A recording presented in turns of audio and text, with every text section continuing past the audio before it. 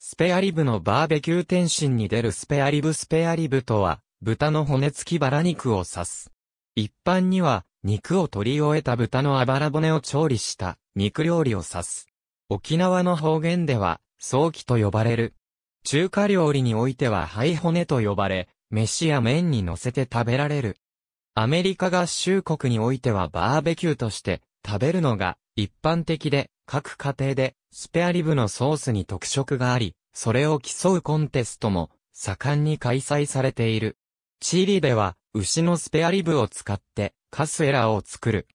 スペアリブは上述の通り性肉過程で残る部位であるため、英語の語感からも、あばらの間に残った肉、代わりの肉といった説明がなされることが多いが、控えのや、代わりのを指す英語のスペアとは直接の関係はない。元は、中世低地ドイツ語のリビスパーに由来する。